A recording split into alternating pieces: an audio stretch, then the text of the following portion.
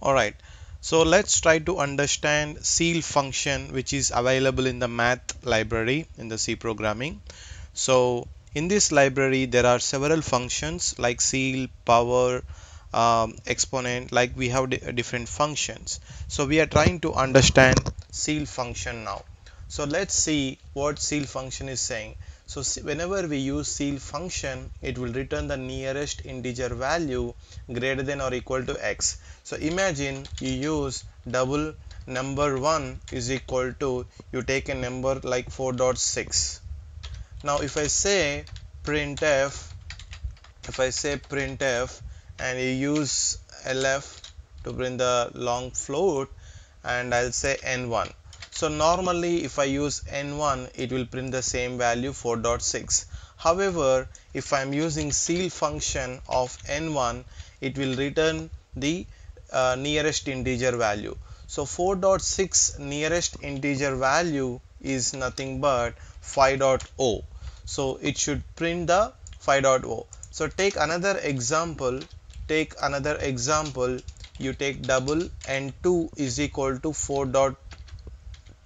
3 however we may take okay the nearest number is 4.0 but the it, it is it should be greater than or equal to x. So 4.0 is not greater than 403 so that's where it will also return 5.0 so let's try to create an example here and let's see what is the output we are getting.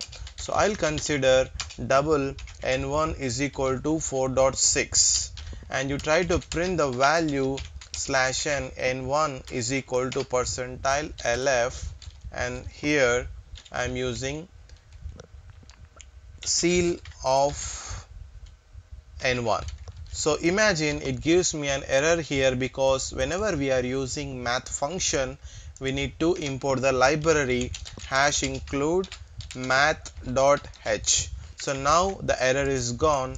Let's try to print this and see what is the output we are getting. So we should get the output 5.0.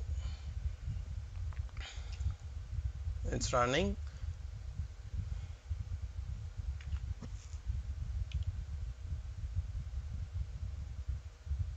Alright, so we got 5.00 and if I want one decimal value I will just say 1.lf so again run the program. I may get just 5.0 as the output or 5 right? N1 is 5